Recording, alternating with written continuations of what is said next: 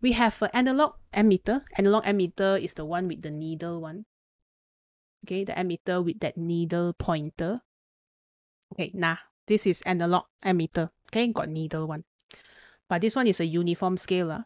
Okay, so following prolonged use, okay, after much use and abuse, the pointer does not return fully to zero. Uyo, meaning oh, the pointer cannot go back to zero already. GG oh, this needle cannot go back to zero. When the current is turned off, the meter has become less sensitive. Okay, we got so many issue lah, this one. Okay, so the meter has become less sensitive at higher currents than it is at lower currents. So this is issue number two. The sensitivity change. Okay, so less sensitive here also means less precise. In other words, huh, the scale are closer to each other at higher readings of I. What that could look like for this is, let's say for example, I look at this one. For large value of current, maybe now my scale is like this. Here less sensitive, so perhaps instead of 1 being here and 0.8 being here, your 0.8 will have to move. Maybe your 0.8 is now here. So now this part is to represent 0.2 compared to this part. Whereas in the beginning, 0.2 is more sensitive. Okay, maybe this is 0, this is 0.2. So your scale doesn't have to be uniform. In fact, sometimes it may not be. Okay, so let's go back to this one. It says that it is less precise uh, at higher currents and pointer doesn't return to zero.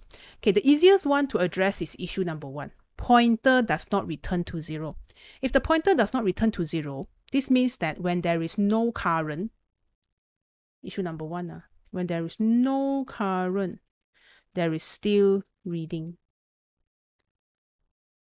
Okay, so in this case, uh, I need to make sure that the graph will show that, that I already know that, oh, when there's no current, uh, the reading doesn't count. Okay, so see here. Let's say we look at this graph. Uh, it is the graph of scale reading against true current.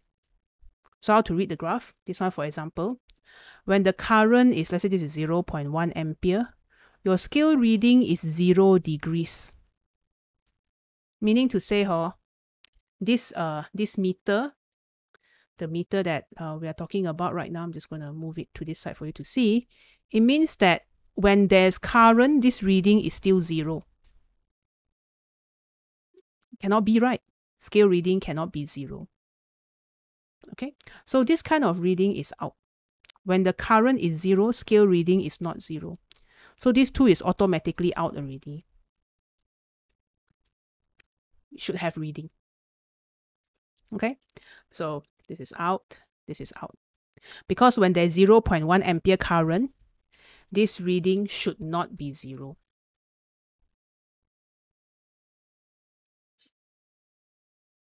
On the y-axis here as well. Okay, next. So now we got these two beautiful graph. When the true current is zero, so at this point, uh, my true current is zero. Okay, I equal to zero. But the scale reading, reading not zero. This is what we want. It says here, no current, still got reading. Now, no current, still got reading. D also, no current, still got reading. So this is issue 1 settled. This is issue 1. This is issue 1. This problem here. Uh, the best one is actually to have the graph passing through the, the origin. So this one is actually a systematic,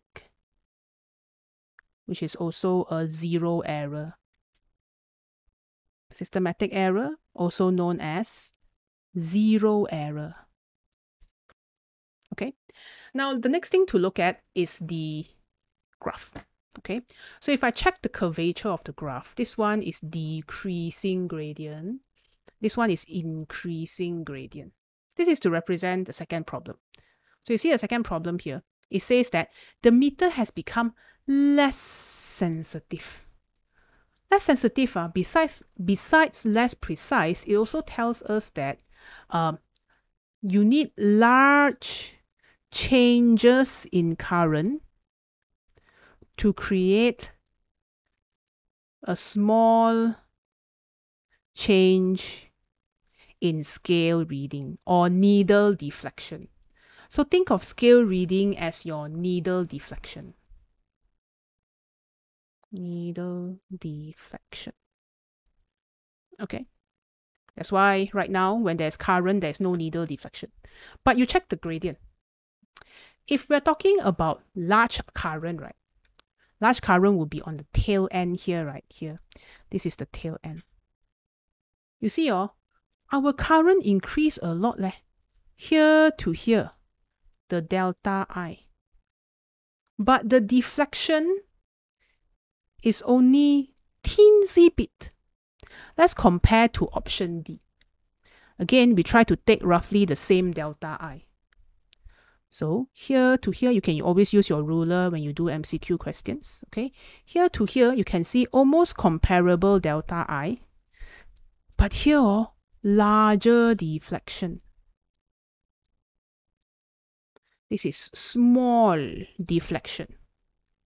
So small deflection means less sensitive. That's why the answer is C. Larger deflection means more sensitive. You change a bit of current, oh, immediately the scale reading change a lot. So check the gradient of the graph. News flash. This is MCQ. We can flip the x and y axis. Can flip uh, anytime. Okay? Don't memorize the shape. Learn to analyze the graph. Okay? So first step, I outline the issues with the ammeter. There are two issues. Pointer doesn't return fully to zero. And meter is less sensitive at high currents. So if pointer doesn't return to zero means when there's no current, still got reading, which is option C and D. I've explained just now. Okay, so when that when I is zero, there's still reading. The scale reading is not zero. Okay, for both C and D. And then the second issue is large current, less sensitive. Less sensitive at large current. Less sensitive means I need to change a lot then only the scale will detect. So it's shown by this. Lah. I change a lot, but the scale only change a bit. We always complain about someone not being sensitive enough. Ma. That means you need to actually change a lot of your emotions before the person notice that you change. So I need to change a lot of the current before I get some deflection. Whereas this one, I change the same amount of current, wow, my deflection so big. Okay, so learn to read the calibration curve. There will be this question.